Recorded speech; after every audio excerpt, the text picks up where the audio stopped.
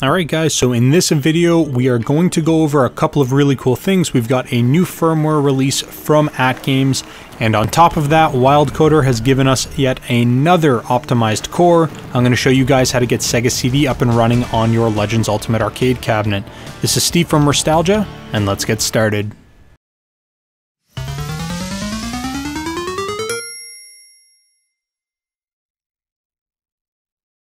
Okay guys, so we're going to go ahead and get the firmware information out of the way first. We got a new release as of today, and there's going to be a few things that we've gotten the first big change here is that now the cabinet is going to allow up to five different leaderboard entries per game. The previous system that we had up until today prevented you from uploading any more than one submission. What'll happen is if you tried to submit a second one that was lower than your top score, it would just say, hey, no, you've already got a high score, no need to send this in. Now what's going to happen is you are allowed to have up to five different leaderboard entries, and the way it's going to be differentiated is that it will still be linked to your ArcadeNet account, but the three different letters that you use to identify your high score initials will be able to be different. Going off of that as well, we've now got five more built in arcade games that have been added to the global leaderboard feature. Those games include Black Widow, Joe and Mac Returns, Side Pocket, Super Real Darwin, and Tetris Plus 2. So these are actually some really fun games. I know a lot of people are going to really enjoy it, and to be honest, I'm really impressed with some of the high scores that we've seen so far. So definitely, this is an awesome, awesome feature. There are a couple new features as well that I do want to mention. First one is now we actually have a USB drive playlist feature. So if you go into your settings and under attract mode, you're actually going to have a section specifically where you can toggle on to allow your USB to filter through more than one video for attract mode. What you would do is you would load up, say, four or five videos, and if you want them in a specific order, you have to name them one, two, three, four, five, and so on Otherwise, it's just going to play them in alphabetical order. But that is kind of cool. That way, you're not stuck with the exact same video constantly looping on repeat over and over again if you use that feature at all. And the last new feature that we're going to talk about here is the menu navigation has improved. If you had noticed before when they had implemented being able to filter through pages using the left and right motion on the joystick, you would notice that going to the right hand side worked perfectly fine, but going to the left hand side, when you got to the end of the page and you pressed left, it would take you into the filtering menu and then you would have to press left again to turn that page. What they've done is they've eliminated that altogether. Now when you go left or right at the edge of the pages, it does properly rotate into the next page, but you cannot access the filtering section anymore once you've entered into the game section. You're going to need to press the menu button on your control deck, and that will pop you into the filter bar. So it might take a little bit of getting used to, but I think actually the navigation's a little bit cleaner this way. Alternatively, if you don't want to press the menu button, if you press up to go into the main header, then you press down again, you'll be able to get into the filter bar that way too. But that's more or less it for this release. Now I'm going to switch over to my computer and I'm going to show you guys how to get Sega CD up and running. So here we are, again, a huge, huge shout out to WildCoder. Now I'm going to leave a link to his YouTube channel in the description down below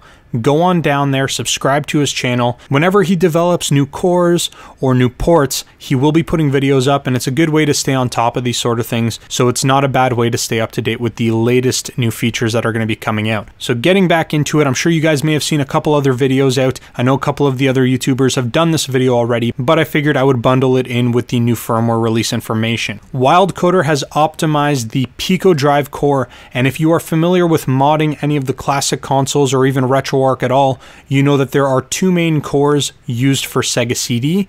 You've got either Genesis Plus GX or you have the Pico Drive core. WildCoder has decided he wanted to optimize the Pico Drive core, and that's totally fine. Now, I'm going to mention it's not 100% tested with multi disc games. Some may work, some may not. So keep that in mind when you are building your library. You might want to focus on single disc games. So the first thing that we're going to need to do is actually create a bunch of folders on our USB drive. As you guys can see, I've got my USB drive plugged into my computer and I've got a folder called content. Now I created this folder when we were working on some of the other ports that we did, for example, flashback. So if you haven't done any of those things yet, you are going to need to create this folder. Next, we're going to jump into that content folder.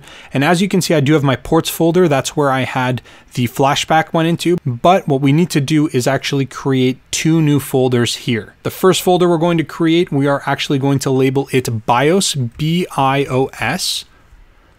And the second folder that we're going to create is going to be console, C O N S O L E S. And I'm sure you guys can probably get an idea of what we're doing here. Sega CD required a BIOS file in order to run the games similar to PlayStation 1 or any of the CD based consoles, so we need to make sure that we load them in. Before we mess around with the consoles folder, let's go ahead and load up our BIOS folder. So I've got my Sega CD BIOS files right over here, and I do gotta say, I cannot give you guys a link or access to them. This is what they're called BIOS underscore CD underscore E, BIOS underscore CD underscore J, and BIOS underscore CD underscore U.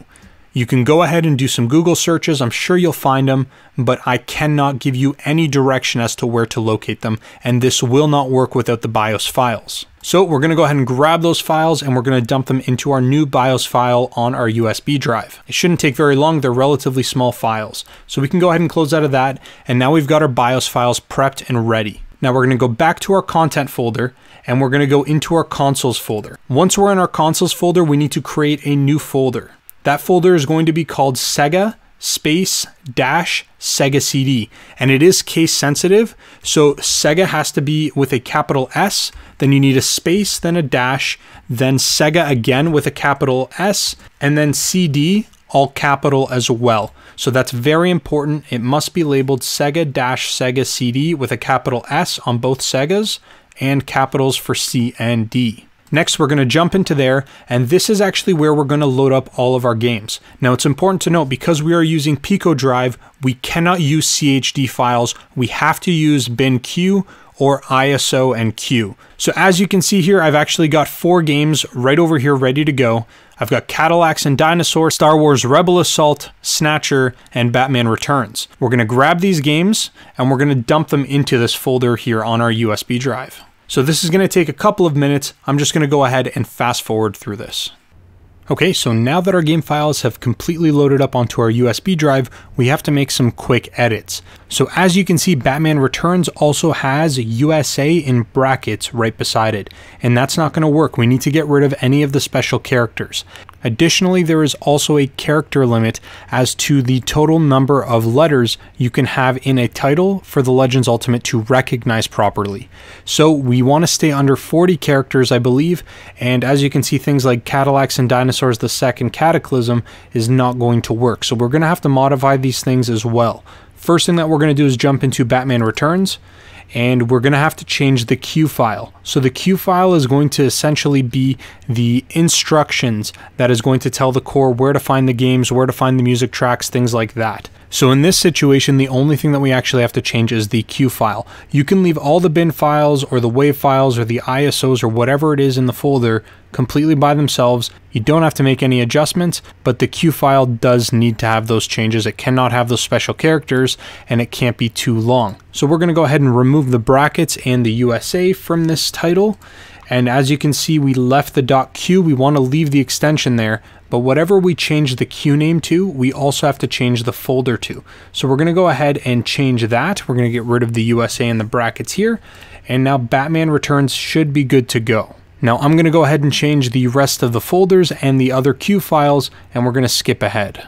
Okay, so as you can see, we've now finished adjusting all the folders, all the cue files. I removed all the special characters from everything, and I also adjusted the name of Cadillacs and Dinosaurs so that way it wasn't so long, and it should function now. All that's really left for us to do is to create some UCE files and uh, get this thing loaded up. So we need to jump into our add-on tool, and it's important to mention that with the add-on tool, you need to be on the latest version. This is very, very important. You need to be on version 2.24. It will not work on the older ones. If you don't have the latest version, I will leave links in the description so you guys can go ahead and grab it and install that. Additionally, what we're going to need is box art and bezel art. Now I've pre-downloaded everything and just as a reminder, they need to be in PNG format and specifically for the bezel art, it needs to be no bigger than 1280 by 720 in terms of resolution.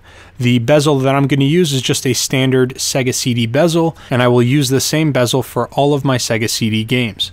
So I'm going to go ahead and close that out.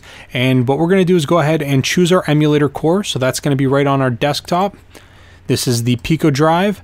Then we are going to grab our bezel art again right on the desktop. No big deal. Box art. We're going to go into our artworks folder and we're going to do Batman Returns. And then grabbing our game. So this is important. The game will be located on our USB drive because that's where we moved it. It's inside of our content folder, inside of our console folder, and inside of our Sega-Sega CD folder right over here. We've got our Batman Returns game. We're going to double click on that and we need to select only the cue file. Now out of the gate, you're going to see it's not visible and you can't actually see it. We need to change the extension from .bin down to any file. This will allow us to see the cue file and we can go ahead and select that. As you can see, we've now have all of the categories filled out. The game title will automatically be filled in once you select your game. And now all we need to do is build this package. So we're going to select that and we are going to save it on the root of our USB drive. Now, when we go to the root of our USB drive, we are also going to want to create a folder here just so it stays categorized. We're going to go ahead and create that new folder and we're going to label it Sega CD. Now this isn't that important what you label it. You can really label it whatever you want. This is just how it's going to be visible for you when you open up the add-on feature inside of your cabinet. So I'm just going to leave it as Sega CD. Then we're going to save our UCE file inside of this folder and it's going to build. Now this won't take long. As you can see, it's already finished. Uh, because everything's relatively small and you're not actually loading the game into it, it's a very quick process.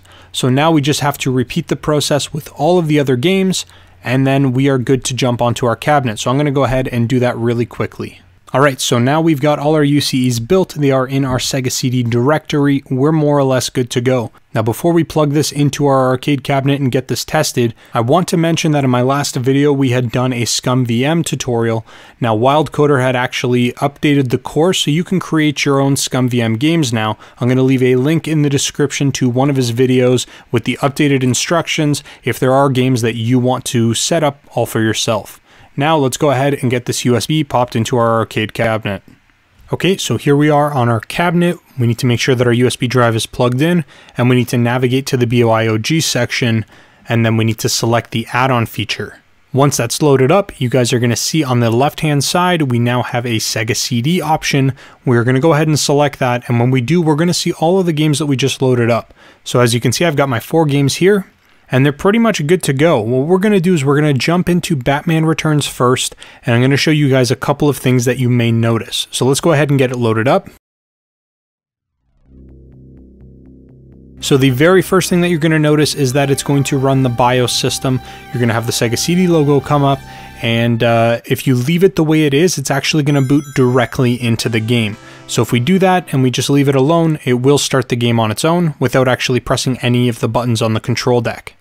Now alternatively, if we go ahead and try to boot up our game and we do press something on the control deck, it's going to take us to the Sega CD menu. And from here, we actually have to select the CD-ROM button in order to run our game. So either way, it's not a big deal. Just so you guys know, if you do end up on the screen, it's totally fine. Just hit that CD button and your game is going to launch. But that's more or less it. I'm going to go ahead and show you guys a couple of these games running, and then we're going to wrap up the video.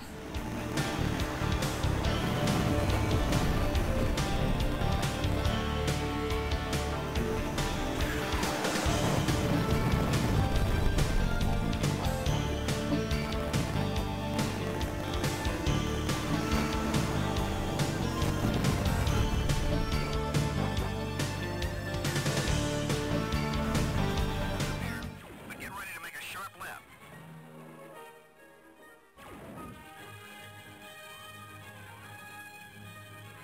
Easy now.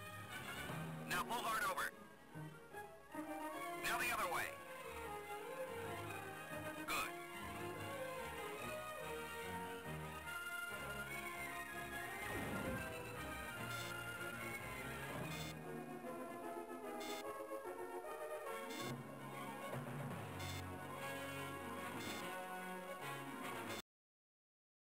And that's more or less it. Thank you guys so very much for watching. Please consider subscribing to the channel, give the video a thumbs up or a thumbs down if you did not like it. But that's all I've got for you. Thanks again for watching, and I'll talk to you guys again real soon.